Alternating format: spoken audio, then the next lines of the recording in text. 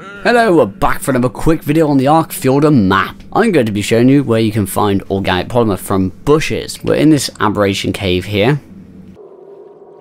We're looking at these bushes here.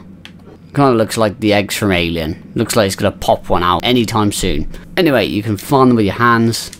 Get a decent amount like that. This is one times harvest by the way, so that's a pretty decent amount. I will show you the location of the entrance to the cave momentarily.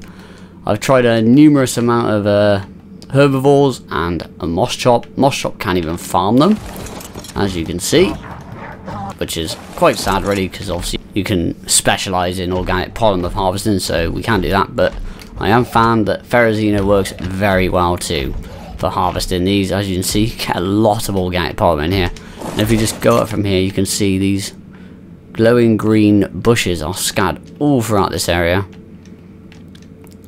So you could come out with over a thousand polymer easy. And they respawn really quickly because obviously bushes respawn quickest out of any kind of resource comparing to like metal nodes and stuff like that. I'm going to go to the front of the cave now and show you how to get to this location. Alrighty, so front of the cave is located at 86.3 latitude, 4.7 longitude.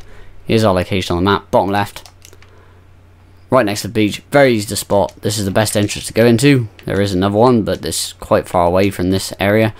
Follow the steps down all the way to the bridge, and then it's just all in this area below. As you can see, we're down here. There's the glowy bushes, and they're everywhere through this area.